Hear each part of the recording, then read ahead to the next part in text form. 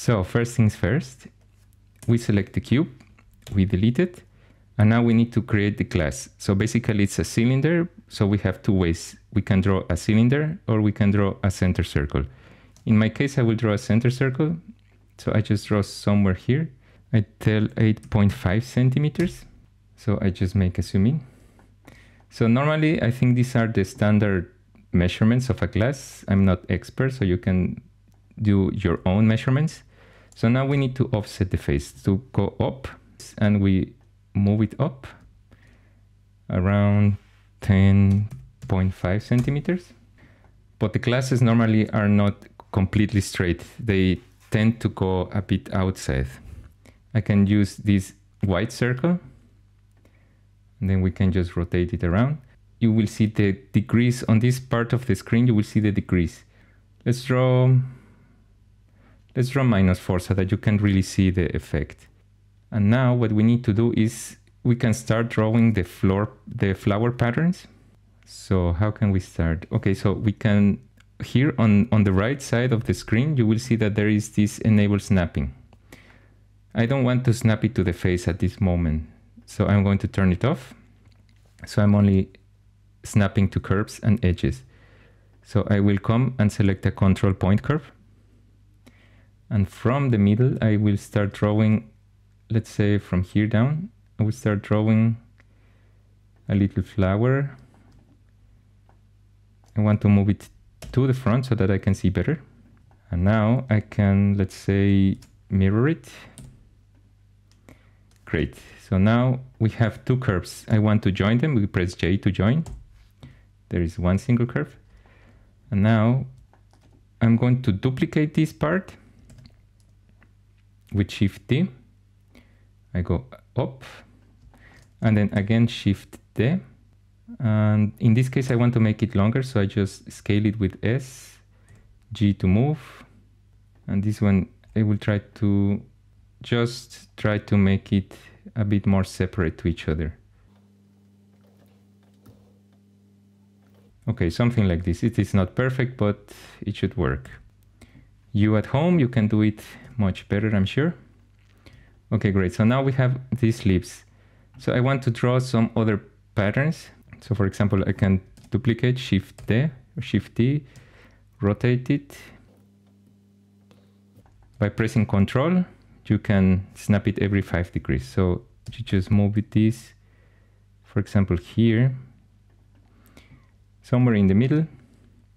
You can mirror it. You can grab these two, Shift D, duplicate them and move it up around the same to here. We grab one of these, duplicate it, we move it down, rotate 45 degrees, so we go down and we just try to snap it somewhere in between, not exactly like here. We just go a bit outside and see how it looks. For example, here, I want to have the same distance, but inverted. So the leaves will be upside down. Okay, how do we do this? We can mirror it, but if we mirror it on the y-axis, you see that it's only snapping to the center. So if we want to have our own guide, we can press, for example, F for freestyle. You will see here on the right side. So if we press F, we can create our own guide. So we, I, am going to click on this point. So I press and I can move just left or right. And then we have our pattern. So you see, it's starting to look good. So now I just grab these ones, duplicate them and move it up. Okay, great. So there we have our pattern of the glass. I think it's okay. You can you can draw your own style. You can experiment. This is this is only the matter of experimenting, drawing, practicing, and this is what makes you great in whatever you do. I think it's great. I think we can continue now to make an, a radial array. Okay, so how do we do this? We select all the curves. And this one too. And we can just come down here to radial array like this. So in this point, you see that it's going to cause a trouble because the lips are actually touching each other. If I'm going to project them to the object, it's going to create some artifacts that I'm I don't I'm not so happy. So we need to reduce the number to a point when they're where they are not touching. Seven they are touching. Okay, so six is the minimum. So we have this, we accept it with right click. And now we can just press Shift I to imprint curve. Or if you go, you press F to select all the tools of plasticity and then you press imprint. So in this case is Shift I and then you click. So what is going on here? You probably think it is a mistake. It only works on some parts. For example, here it works perfect. But what about here? What it's making plasticity is just projecting it from one side. So in this case, it's projecting from the front. So you see that this distortion is caused by the impression, but we don't want this. We, we want that the normals dictate the way of projection. So you see here on the left that there is the method, vector or normal. Vector is by planes and normal, when you click on it, you see that now it fixes because what it's telling is that the normal of this side is projecting to this, the normal from here, the normal from here, and so on. So now it's much better, and you see, it is quite good. So I think that is what we look for, we accept on it, and these curves we can hide.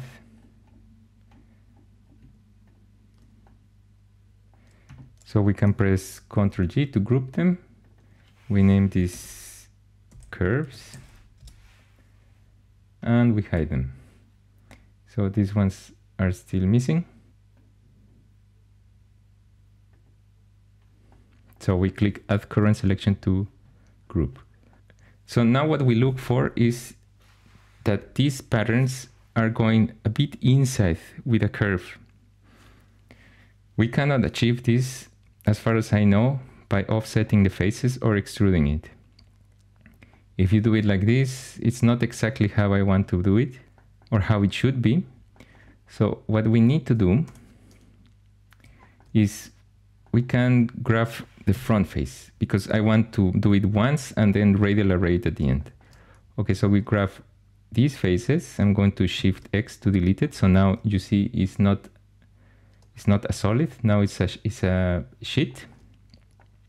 So with the holes now, we just create one line that is going to come from the middle to the other middle.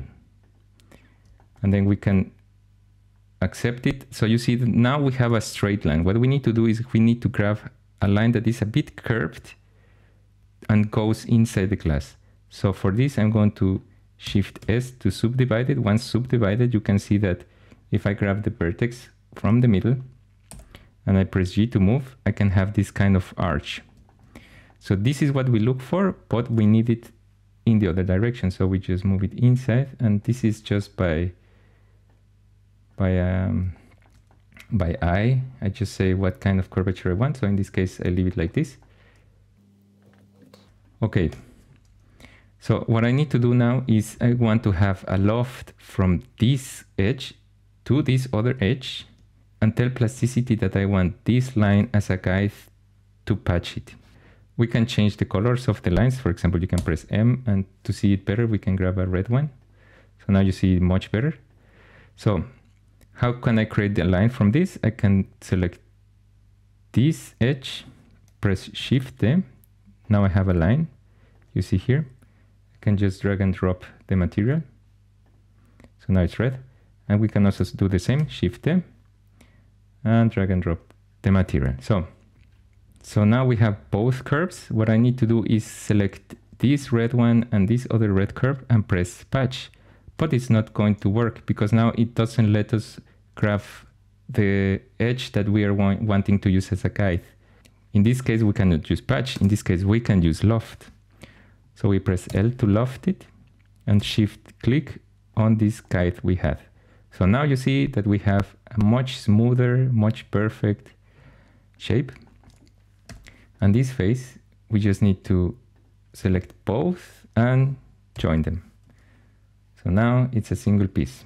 And these curves, we can group them. We can call it red curves and we don't need them. So basically this is what we need to do for all these objects. So we just proceed, Shift A, to the middle, to the middle, subdivide it, Shift S, grab this one and go inside. You can also grab the previous line we have and just duplicate it and move it here. But it's good sometimes to continue practicing. So we grab this, Shift M, Shift M, Loft and Guide. Select this object and this object and join them. We do the same here, Shift A, middle to middle. Then we grab this, Shift D, Shift D. This we forgot to subdivide it, so we just grabbed subdivide and grab this vertex, something like this. Loft, guide. Okay, so you see that now I can grab all these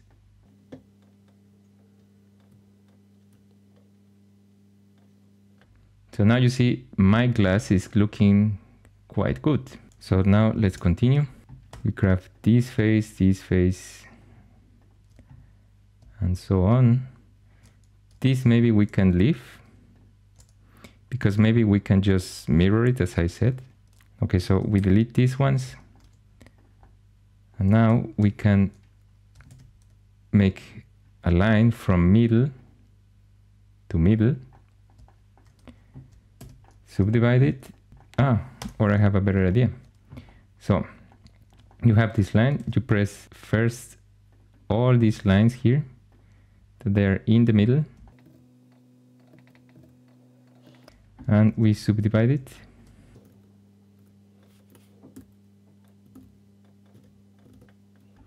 Okay, so if I'm correct, then we just grab all these vertex at the same time and press G and move them inside. So everything should have the same curvature. Correct. And we just we repeat this part. We select all one side, Shift T, and select this side, and press Shift T. Okay. So from here to here, loft, guide. From here to here, loft and guide the same here. Select both loft, shift, click.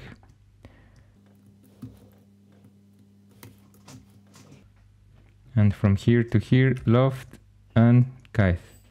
Okay. Now we select all these faces and join them.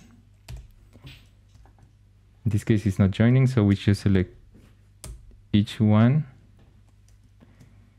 J, J, J and this one with this one J. And this is missing J. Okay so now we have this. We can select these lines and hide it. Now that we have one side of the glass we can just create one line from here to here. Press C to cut. We can delete this area. So we can just mirror it. Press Q I want to boolean it and press Q again to join them. I want to union. So now we have this part. So now the point is that I want to radial array it six times. So how do we do this? I can create a line from the top, maybe from here to here. Let's see if it works.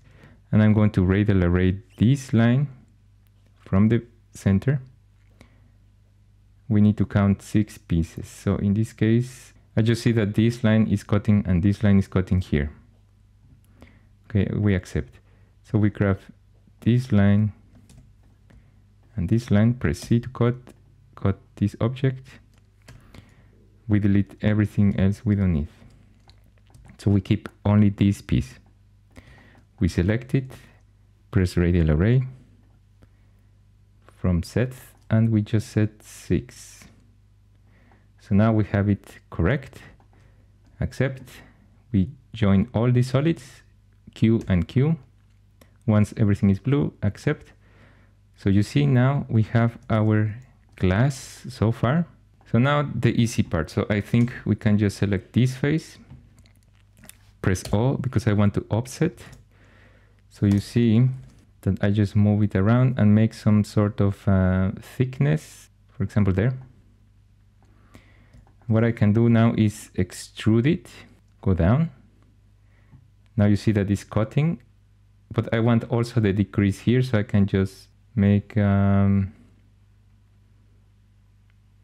uh, for example, four, no? Because we, at the beginning we made four, so I want to have four again in the inside. Remember, I press E to extrude or E to extrude. Right click to accept. So now we have this part of the glass. So we press 2 because I want to, to make a chamfer from here. Can make a round chamfer. Accept. And we grab this one. Can make something like this. And we can also go and chamfer this. Something like this. So now we are almost finished. There is also one thing we can do if we go to the front view. Now you can say that these edges are extremely hard. This from here to here is so hard that maybe it would be better if we make it smooth. So how can we make this? If we go and press the two, we can select these edges and we can make a fillet so we can grow it. Now it needs to think. In this case, it's not working. When it doesn't work, you can try one side only. Now it's working. But I think this is a hard fillet. So we need to go to the positive one. So you see, in this case, it's making this soft transition. You will see, I will do one side, for example, something like this. So you see that the glass looks much better if we would have this sort of softer chamfer. So that's what we need to do. So what I need is select this side and then we can just make a positive fillet. But I want to have the same distance. So without doing anything, I just click here and then it will take as, as long as it is a round fillet, it will take the same one, the same radius, and we can just right click on it. So we saw that this part of here needs to be rounded. So we will continue to round all these. So you see, make a positive one, click here, done. We go, positive, same click. And this we will do with all these. Remember, if both are not possible at the same time, just try it from one side and then just do it on the others.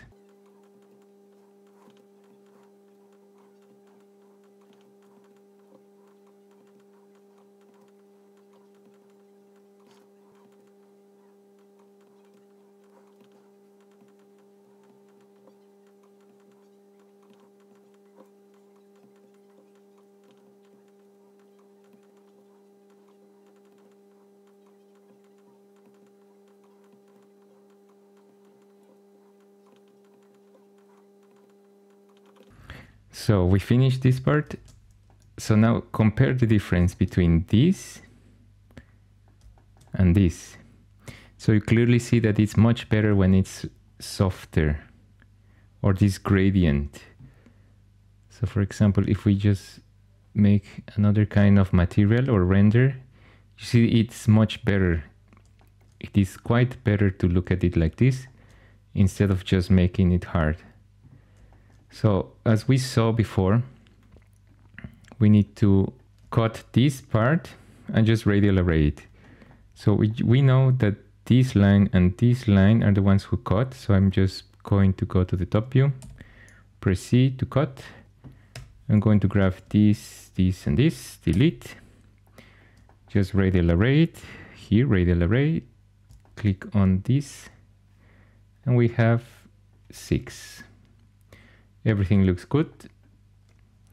Q and Q, join them.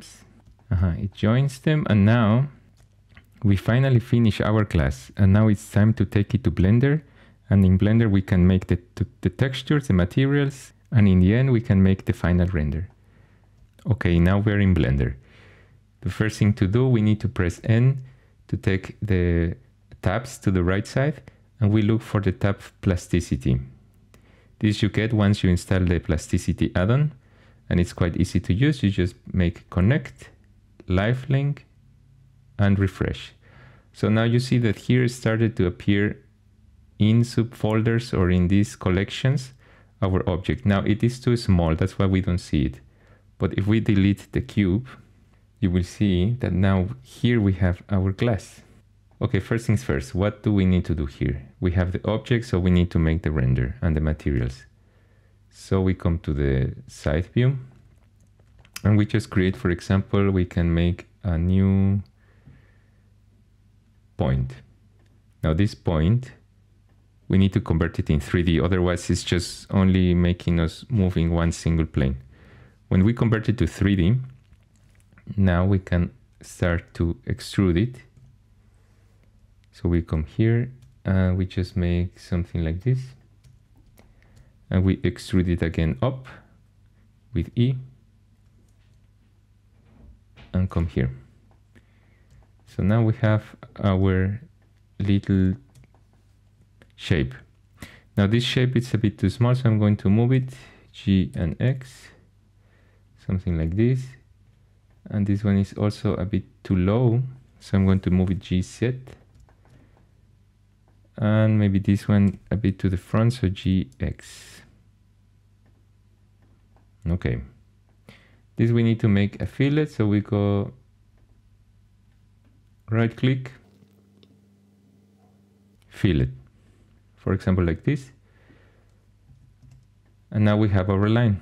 Now this line we need to convert to object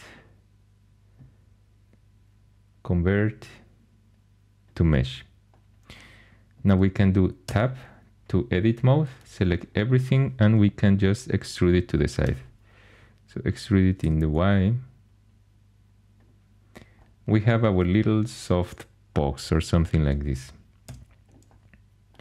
Right click shade smooth, G and Y. So, perfect. Now we can have some environment to start making our lights. Shift A and we can make a new light area. We move it around here, rotate. The size I can also make it smaller, something like this. Now let's see how it looks. We call, and instead of making Eevee, we make it in cycles. So cycles, GPU, and we can start to see the results. So I have our little glass. This case, I think it's okay-ish. So I'm going to start making the material. I go to this material tab, I make new, and let's name it glass.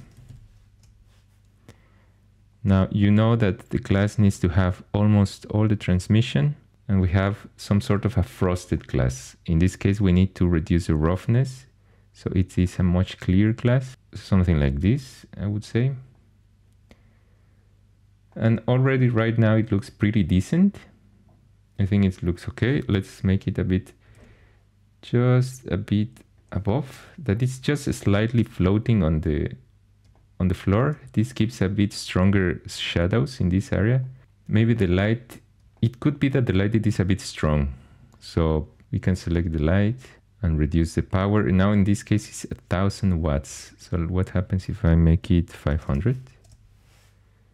It's even, or let's try five. Okay, five watts is okay, I think. It gives a much more contrast in the image. Now the material is a bit too perfect, so I would like to do something with the shading. So we create a bit of a bump. So we go to the normal, and make bump. And here I would also like to make um, noise, noise texture. I connect the FAC to the height. So now you see something quite strange, but it is too strong. So what I need to do is texture coordinate, texture coordinate. So this I connect, I want the object. So the object is going to give me this mapping. So in this case, I connect object to vector. Now you have something more interesting, but still horrible. Maybe the detail around 9. So you, you see it has this sort of deformation that is quite normal, but it is too strong. So let's reduce it. It needs to be quite, quite minimum. So you will see imperfection. Now this imperfection is what we look for if we want some sort of um, semi-realistic render. It could be that this detail maybe needs a bit low.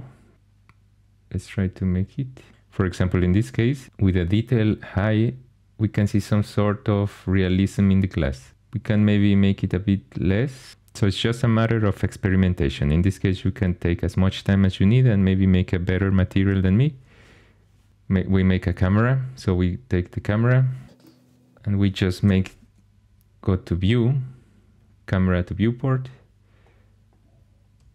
And we just place the glass around how we want. Maybe I would like to also add another light, maybe one on the side and maybe one above.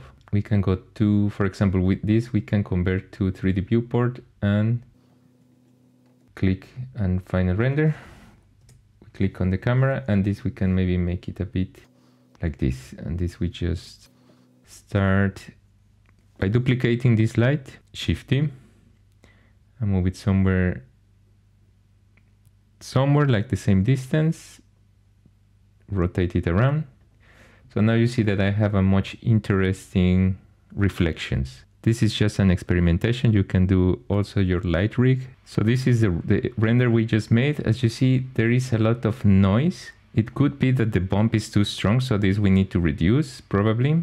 And also the roughness. I think the roughness is a bit too strong. So we come to the glass. And you see here also, it is a bit too strong, this imperfection of the bump. Reduce it by half, for example, 0.02. Now it looks a bit better. So probably I leave it like this. And we said that the roughness was too strong. So we got here to the roughness and maybe make it 0.05. We can also try another kind of illumination. If I want to have it like um, like this gradient floor of colors, of contrasting colors. For example, we can have this light and this 10 watts. I am not so sure if it's too strong still. So let's, for example, try 5. And here as well, 5. Mm, it could be. So let's make some colors. In this case, I will take the right light and make it maybe a bit uh, pinkish. Or let's try to make it bluish. And this light, we try to make it pinkish. Light, for example, we can take one of these, duplicate it, rotate it and position it as how we want. Something important, I, I realized that our camera has a focal length of 50 millimeters. I normally don't like, like to leave it like this. I would prefer to leave it like in 100. Let's make another camera. So shift the camera and where is it? Okay. So we select camera one and let's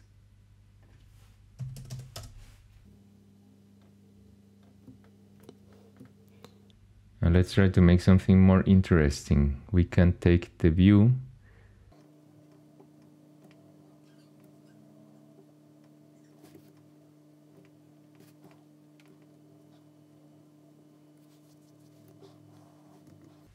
Okay, the camera, I just leave it like this for the moment. And let's tweak the lights because it's still not my favorite illumination. So power, we can maybe take 10 maybe the floor I don't know if, if it can be a bit less rough the light maybe so and this light stronger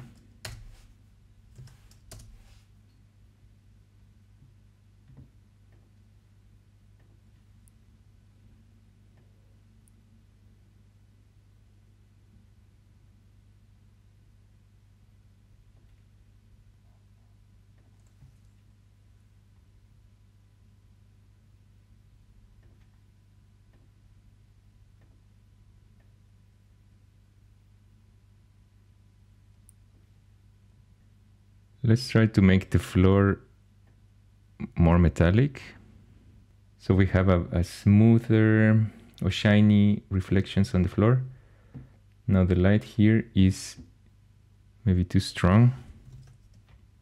And also the light in the back. Let's make a render. So this is just for for showing you. This is a tutorial. Of course, you can have as much as perfection as you as you wish or as you look for. You just need a bit of post-production if you want in Photoshop, arrange a bit of the curves, a bit of here and there, some tweaks. I hope you enjoyed this tutorial. If you want, you can follow me in my social networks. I am going to continue to upload some more tutorials in plasticity using Blender.